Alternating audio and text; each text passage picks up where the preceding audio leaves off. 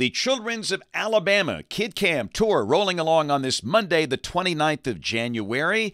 Today we are at McAdory Elementary School out in western Jefferson County and meet the second graders. Yeah, buddy, these guys are looking good. That's a that's a fine fashion statement that guy's got right there. That's a good look. I'm just saying.